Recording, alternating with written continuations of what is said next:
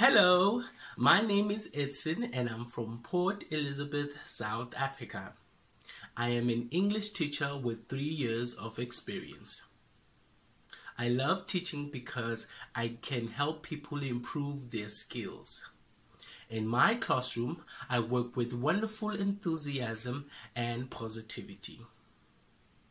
I am interested in many different topics such as music, food, and travel. With that being said, my main priority is to make sure that my students reach their goals while having fun in class. I hope I get to see you in my trial class. Thank you and goodbye.